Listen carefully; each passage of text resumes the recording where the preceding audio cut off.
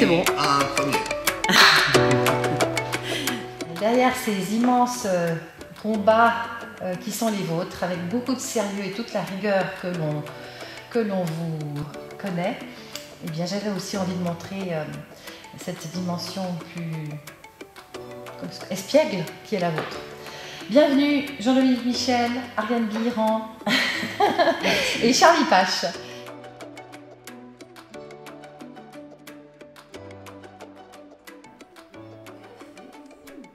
Je l'assomme avec. Moi, je l'assomme sans pour laisser le bolet vivre sa vie. Et moi, je mange le bolet.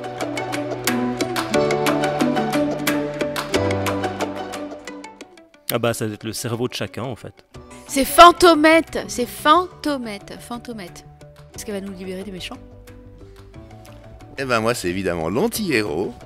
Parce que je trouve que c'est dans la vraie vie que se trouve le vrai héroïsme, que la figure du héros tel qu'il existe partout, c'est juste du carton-pâte complètement débile qui correspond pas à notre humanité. Et je trouve que tous les meilleurs films qui ont été faits, c'était sur les anti-héros, et que les anti-héros du quotidien sont souvent les gens les plus remarquables. Donc désolé, c'est une réponse un peu sérieuse. Ah, C'est super démagogique, hein, son truc. C'est Isabelle, c'est comme toi, c'est des gens comme toi, voilà. Ah ouais, The Big Lebowski, ça pour moi c'est un peu le, critère absolu. Donc c'est quelqu'un qui, mais un peu comme Bukowski, qui a ce cynisme sur la vie de voir les défauts de chacun, parce qu'au fond, dans la comédie humaine, chacun passe son temps à vouloir cacher ses défauts et prétendre qu'il est qu'il n'est pas.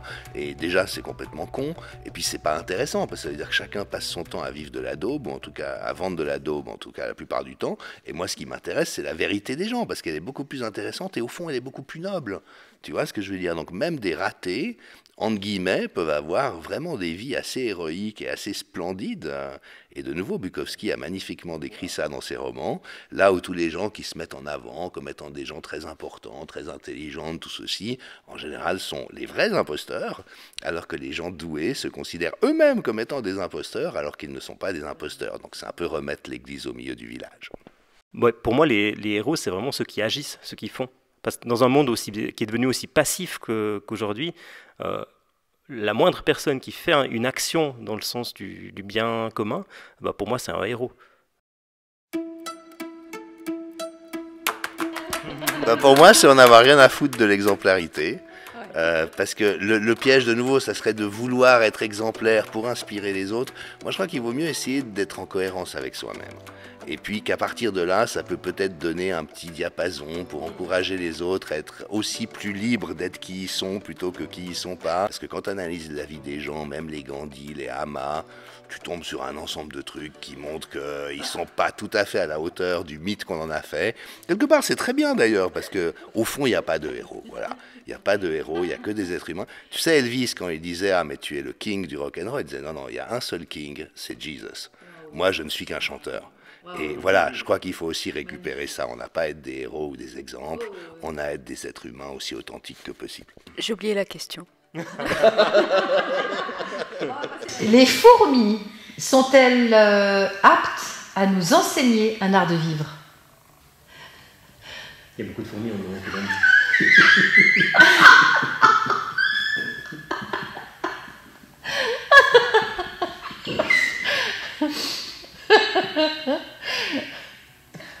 Je passe mon tour.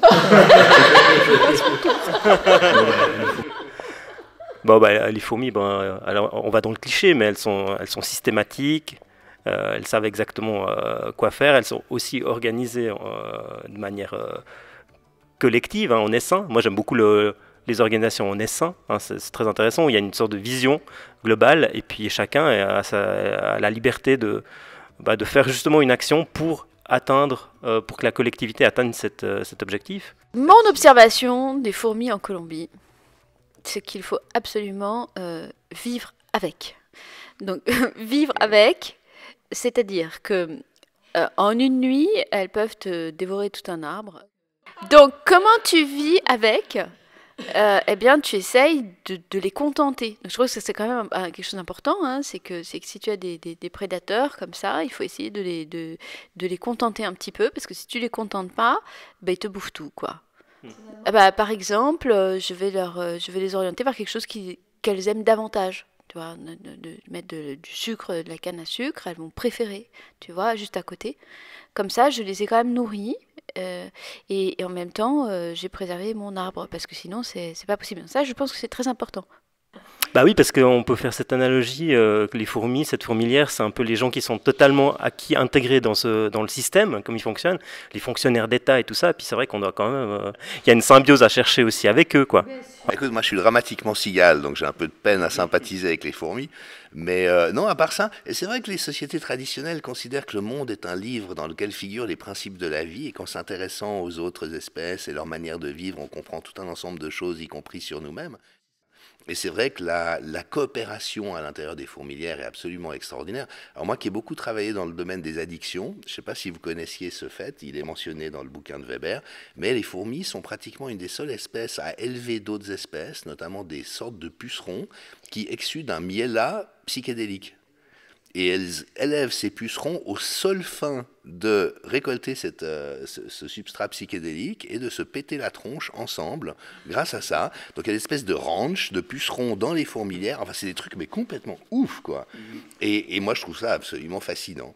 À part ça, le côté un peu mécanique de leur société où tout est subordonné à un ordre supérieur, c'est pas tellement ma casse de thé dans le domaine de l'humanité, mais je suis sûr qu'elles ont plein de bonnes qualités par ailleurs. En tout cas, la vaillance et l'abnégation.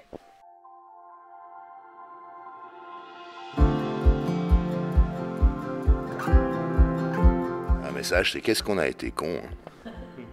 Mais je crois qu'on n'est pas encore humain, on n'a pas encore réussi à s'humaniser, à acquérir, comment dirais-je, à développer la noblesse de notre plein potentiel de dignité. On n'arrête pas de patiner par rapport à ça et de remerder dans la mauvaise direction. Donc je partais de l'hypothèse que l'explosion de la planète était éventuellement en lien avec notre incapacité à créer cette société humaine digne de ce nom. Mais comment dirais-je, moi-même dans ma propre vie, il y a des échecs qui ont été infiniment plus féconds que des réussites. Donc si on part de l'idée que la vie est probablement répandue dans l'univers, bah, si l'expérience humaine foire, bah, c'est triste parce qu'on aurait été capable de mieux, mais d'un autre côté, voilà, c'est ça. Donc le message, c'est on a merdé. Ça me fait penser à une, anecdote, une citation. C'est quelqu'un qui avait dit que la meilleure preuve que l'intelligence extraterrestre existe, c'est qu'ils n'ont pas voulu prendre contact avec nous. je sais plus qui l'a dit, mais voilà. Euh, et puis le message, peu importe, vu que tout l'univers est justement connecté, que finalement la vie elle reprend ailleurs, là où on a, on a peut-être échoué. Euh, ça là, c'est juste un peu triste pour les suivants, mais je pense qu'il y, y, a des échecs qui se répètent peut-être dans les... Qu'est-ce que tu y mettrais dans cette petite capsule spatio-temporelle, toi? Là, tu as une heure, tu as une heure pour écrire un message à l'intention des extraterrestres. Ok, ben je reviens dans une heure et puis je, je t'en fais part. moi, je fais un truc vraiment très très euh, égoïste, hein. c'est-à-dire que euh, j'écris euh, si jamais, parce qu'on ne sait jamais nous qu'est-ce qui va se passer, quoi. tu vois l'explosion de la planète. Donc, si jamais, malgré tout, je reviens pas à ma source divine, je veux une demande en mariage. J'avais fait une demande en mariage à un extraterrestre sympa. Voilà. Et j'explique pourquoi. J'explique pourquoi je suis sympa. Voilà. J'ai fait un truc comme ça, quoi, pour sauver ma peau. Moi, je crois qu'il y aurait une correction à faire, ce serait vraiment de préciser pour les extraterrestres que Biran se prononce Biran et non pas Bileran, parce que les gens n'arrêtent pas d'estropier le patronyme d'Ariane, c'est totalement détestable. Donc au moins que soit légué au futur de l'intelligence dans l'univers qu'on dit Biran et non pas Bileran. Oui, parce que c'est c'est oh, c'est ça, c'est ça, c'est parce qu'il n'y avait pas assez d'ordre. Donc euh, en, occitan, L et H, ça se dit que c'est très important. Oui, mais on rajoutera ça. Oui, tout à fait. Si le poisson rouge de Klaus Schwab pouvait parler, qu'est-ce qu'il dirait? Il est fou. Oui, c'est Change, changeons de place. Alors, euh, oui, ben, j'espère qu'il n'a pas de poisson rouge, hein, le pauvre. Euh...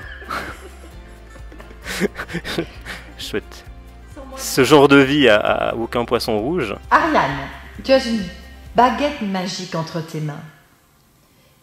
Qui souhaiterais-tu transformer aujourd'hui sur la planète et en quoi? Euh... Là, je vais mon, poisson rouge. Euh, oui, euh, euh, Bill Gates en crapaud pour qu'on lui fasse après des bisous pour qu'il se change en prince. Moi j'ai une, fille qui a presque 6 ans, donc euh, je regarde beaucoup de dessins animés avec elle. Et dans, une, dans un des dessins animés qui reprend le, ben, monde d'Oz, ben, il y, a, une sorte de magicien sorcier qui a créé une armée de, marionnettes en bois, en fait. Et quand il les a fabriquées, il les a fabriquées en dessinant leur bouche qui tire la gueule, en fait. Et à un moment du, dessin animé, eh ben, il y a des, une, des personnes qui est, bien intentionnée, qui par hasard, en fait, euh, vu qu'il a un crayon, euh, il refait la bouche, il remarque la bouche d'un de, ses soldats euh, avec un sourire. Et du coup, le, soldat devient très, très sympa, très gentil. Et, puis, et, puis ça, et puis en fait, il trouve le truc comment transformer cette armée en soldats souriants qui veulent le bien. Et je pense que voilà, ce que j'aimerais avoir comme baguette magique, c'est effectivement de, faire en sorte que les, gens retrouvent le sourire et puis, puis voient les choses euh, de manière différente, de manière positive et puis aident les autres. Ouais. Je transformerai Klaus Schwab en Nelson Mandela. Quel titre donneriez-vous à une très grande œuvre littéraire pour illustrer les temps que nous traversons? On a le droit d'appeler euh, Slobodan Despot Lui doit savoir. Moi, je l'ai déjà réservé. Ah C'est l'archipel du Covid. Oh. Pour vraiment montrer la montée lente et inexorable de cette dérive totalitaire, le fait que les mêmes processus du passé se rejouent dans la même cécité collective, pour déboucher sur le même absurde et la même destructivité, avec le même mépris pour la vie humaine. Donc je l'ai déjà réservé. J'ai écrit plus de 3000 pages à ce jour et il faut que je fasse un travail d'édition pour en retirer la quintessence, mais c'est vraiment le titre qui met. Et j'ai eu le privilège de relire Solzhenitsyn pendant les premiers mois de la crise Covid et ça m'a tellement éclairé sur ce qui passait. Je n'avais pas encore euh, découvert Ariane Biran, et non pas Bileran, euh, mais après évidemment que ça a été la continuité de ce que j'avais euh, voilà, découvert et ce sur quoi j'avais ouvert les yeux avec euh, Solzhenitsyn. Alors, si c'est une grande œuvre littéraire, je reprends le titre d'un de mes poèmes, mais euh, Vibration de fin des temps. Jean-Dominique, tu fais partie d'une expédition suisse qui découvre une nouvelle tribu qui n'a jamais eu contact avec notre civilisation. Ton rôle est de leur présenter le monde d'où tu viens. Que leur dis-tu? Coucou, coucou, coucou. C'est l'heure de faire ceci. Coucou, coucou, coucou. C'est l'heure de faire cela. Tu sais, Keith Richards, le guitariste des Rolling Stones, a révélé que tout au long de sa vie, il n'a jamais mangé que quand il avait faim, jamais parce que c'était l'heure de manger. Et en fait, dans beaucoup de peuples premiers, tu as une marmite qui bout toute la journée, puis les gens, ils mangent quand ils ont faim, pas parce qu'il y a une sonnerie qui leur dit que c'est le moment de manger. Donc déjà, j'éviterais de m'approcher de cette tribu. On dit qu'en général, le, début de la fin pour les peuples premiers, c'est quand les anthropologues arrivent.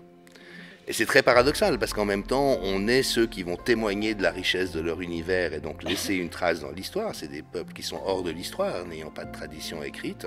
Et puis en même temps, c'est quand même le début de la fin. Ça veut dire que l'exposition au monde occidental est en train de se mettre euh, en route. Et à part les Kogi et quelques autres euh, rares tribus, les autres, voilà, se sont fait phagocyter et déstabiliser de manière radicale par notre civilisation.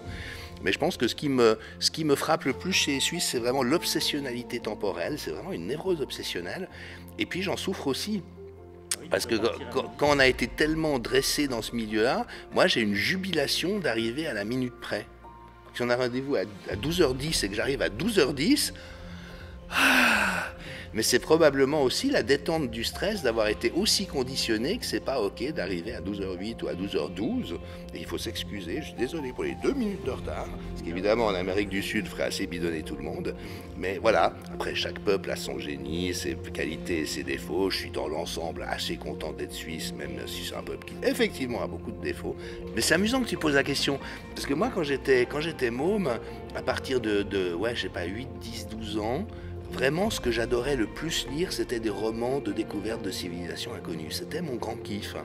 Je pense qu'il y avait déjà une vocation d'anthropologue ou de curiosité. C'est vrai que moi, j'ai l'impression que ma plus grande force vitale, c'est la curiosité. Tout m'intéresse tout le temps. Et c'est un grand vecteur de résilience dans la merde qu'on vit. Parce qu'au moins, je trouve ça intéressant et passionnant. Et ça me préserve énormément. Donc, non, non, je fonce à tous les coups. C'est trop bien, quoi. Et moi, j'ai vraiment envie d'explorer et de découvrir jusqu'à mon dernier souffle. Et je garde en mémoire une citation merveilleuse de Stéphane Hessel, qui a vécu très âgé, et qui disait. Euh, euh, à la fin de sa vie, hein, une année avant de mourir, j'attends la mort avec gourmandise, tellement je me réjouis de découvrir ce que c'est. Et voilà, ça j'espère pouvoir arriver à mon dernier souffle avec ça. On a réussi, tous les trois, à vous imposer le revenu universel de base. Après vous avoir exproprié et vidé votre compte en banque.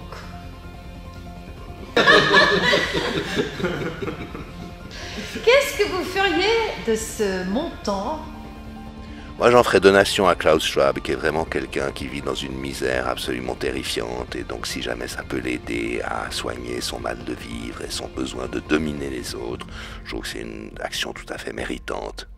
Et puis, blague à part, euh, c'est vrai qu'il y a beaucoup de privations qui nous fondent dessus, mais moi je garde à l'esprit que dans toutes les traditions spirituelles, du chamanique euh, à l'Occident euh, chrétien, euh, il y a eu une appétence pour l'ascèse au cours des temps. Théophane le reclus a vécu des dizaines d'années enfermé dans une cellule sans voir la lumière du jour, il n'en est pas devenu plus débile pour autant. Donc je pense que un des enjeux aussi, c'est de pouvoir s'adapter au réel sans le voir comme étant quelque chose d'abominable, même si c'est odieux en soi, mais de se dire que ça peut nous fournir des opportunités pour finalement mettre en échec le fait que ça soit vécu comme étant quelque chose qui nous détruise ou qui nous rende amers ou cyniques. Et donc voilà, moi je suis assez euh, confiant, j'ai envie de dire, dans notre aptitude euh, à faire quelque chose de ce qui nous arrivera, quoi qu'il en soit. Et beaucoup d'exemples dans l'histoire ont, démontré ça. Désolé, c'est pas très rigolo, mais c'est une conviction sincère. Oui, bah moi, je faut voir combien c'est, quoi. Hein, La vénale.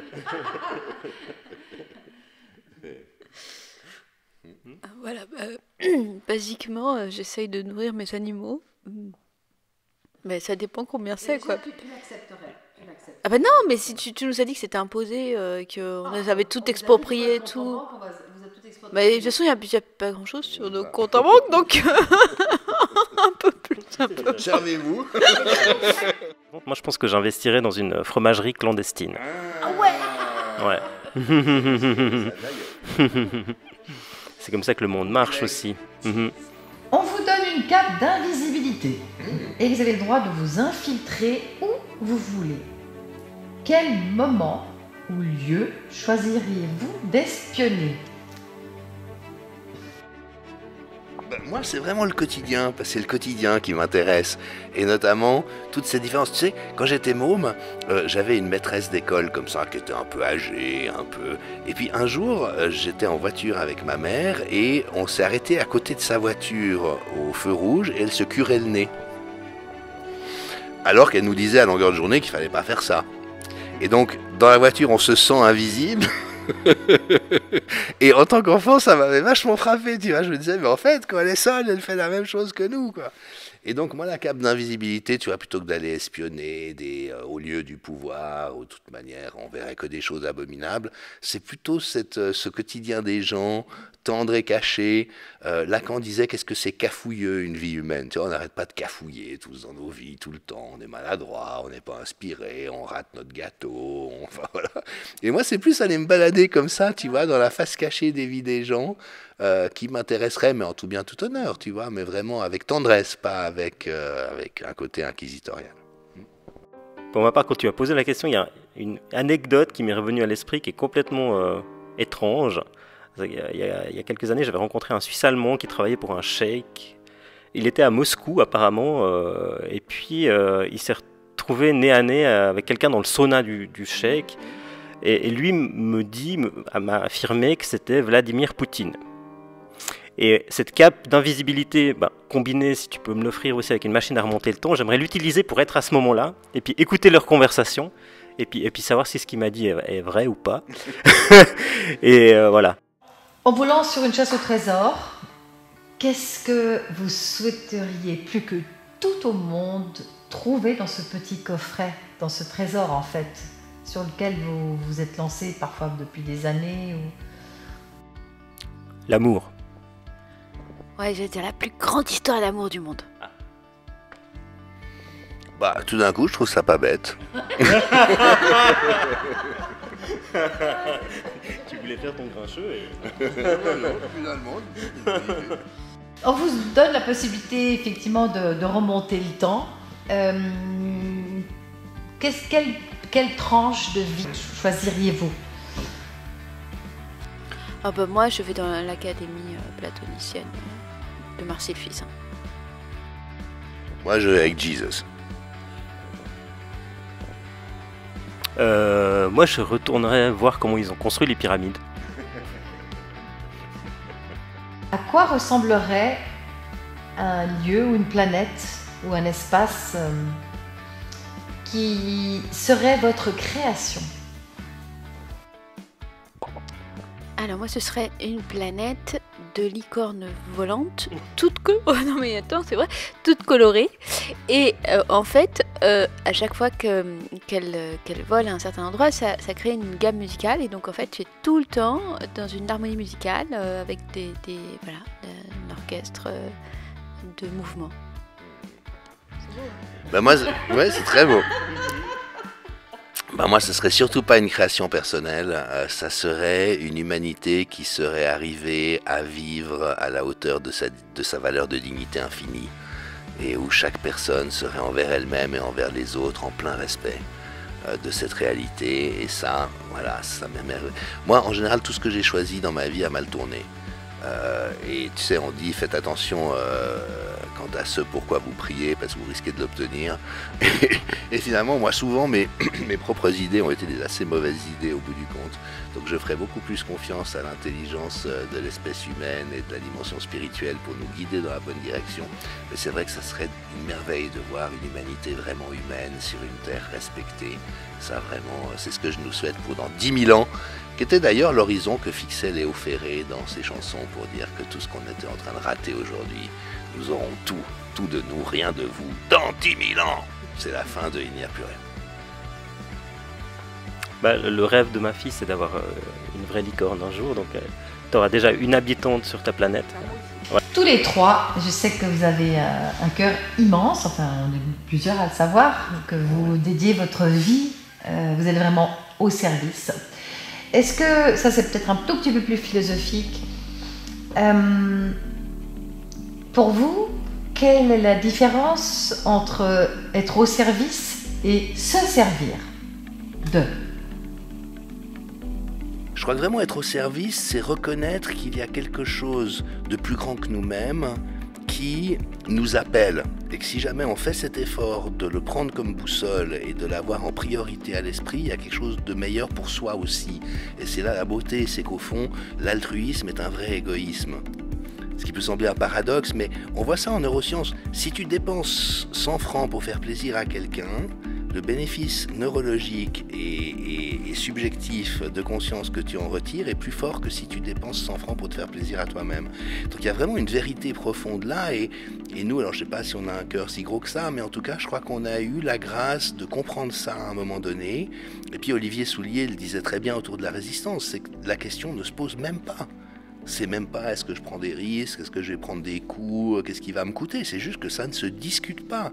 Je veux dire, si on tabasse ou qu'on viole un enfant sous mes yeux, euh, je vais au contact, même si je dois choper un couteau dans le bide. Ça se discute pas. Je vais pas regarder ailleurs en faisant semblant de ne pas l'avoir vu. Parce que là, je entrais ma conscience à tout jamais avec ce genre de comportement. Et je pense qu'au fond, moi, ce que j'ai vraiment identifié chez les résistants, c'est qu'il y a des histoires de vie qui ont permis de faire émerger cette compréhension. Quelque part, c'est très bien parce que ça simplifie la vie aussi. Les gens qui croient aux conneries qu'on nous raconte, fondamentalement, c'est pour se simplifier la vie et pas ça serait trop compliqué de se dire ah nos autorités ne sont pas entièrement bienveillantes et n'ont pas notre bien ultime à l'esprit. Oui, c'est compliqué, mais en même temps, quand on franchit ce, ce pas supplémentaire, tout redevient très simple. C'est-à-dire que dès lors que quelque chose est faux, et j'assistais hier à une conférence de Laurent Mukeli qui est euh, directeur de recherche au CNRS, sociologue, qui s'est beaucoup engagé pour faire comprendre le réel, et il disait, mais euh, moi je me fous du reste, la seule chose qui m'importe c'est la vérité. Si quelque chose est vrai, je me fiche qu'on me critique, qu'on me placardise, qu'on me vire, qu'on me vilipende. Si c'est vrai, je vais pas dire autre chose. Et tu vois, quelque part, voilà, ça c'est vraiment magnifique, et j'ai l'impression que c'est une chose qui nous inspire euh, tous les trois. Et moi je me sens très privilégié d'être au service de ça, tu vois, je le vois pas comme un mérite personnel. Non, ça m'a pris beaucoup de galères pour arriver à comprendre ce genre de choses, mais dès lors que je les ai comprises, je les braderai pour rien au monde. Dernière question. Vous avez tous les trois, vous, êtes, vous avez été enterrés. Il y a une très belle stèle euh, sur votre tombe. Euh, quelle serait l'inscription que vous souhaiteriez qu'on grave sur votre pierre tombale?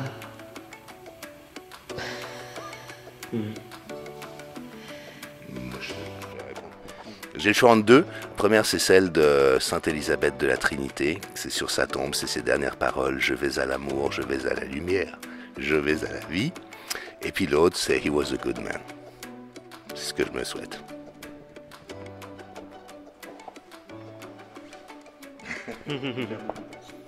Ouais, moi je pense paix et amour, c'est un peu les, pour moi les, les, choses les plus importantes. Voilà.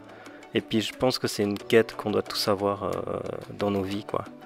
Et c'est ce qui me dépote le plus de voir euh, que quelques personnes, individus mal placés, mal intentionnés, puissent nuire à autant de gens qui ne souhaitent pas des guerres, qui ne souhaitent pas euh, ce qui se passe, quoi. Bah moi tout simplement. Euh... euh... Elle a bien vécu. Ici est morte Adèle à cause d'un salami, jambon, priez pour elle. C'est ça T'as une version végétarienne Merci, merci à tous les trois. Et, euh, merci, à merci à toi. À bientôt pour des nouvelles aventures sur cette planète, ici bas. Oui.